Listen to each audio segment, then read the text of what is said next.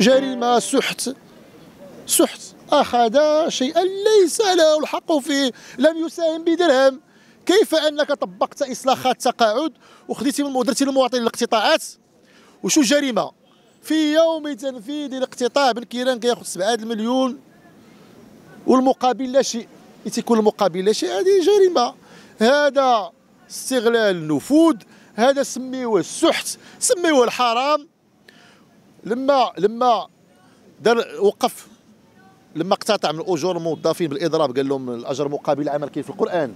ونقول له سي بن كيران 7 مليون ما كايناش في القرآن.